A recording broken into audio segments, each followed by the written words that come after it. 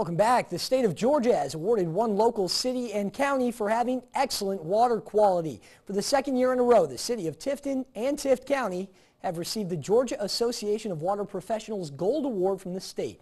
The award recognizes that the city and the county fully complied with 8,500 tests on their water systems in accordance with federal and state regulations. These tests look for dangerous bacteria, certain types of metals, and traces of radiation, which it sounds like they didn't find any of in Tift County.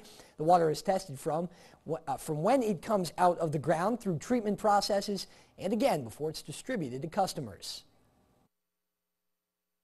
in Tifton, in Tift County, the well sites have been selected to produce uh, the water that is as pure as possible from the ground, and then the treatment chemistries that we use on top of that, um, they are specified to work with that particular set of water. Murphy adds that this is some of the safest drinking water in the world. And speaking of water, water conservation is more critical now than ever.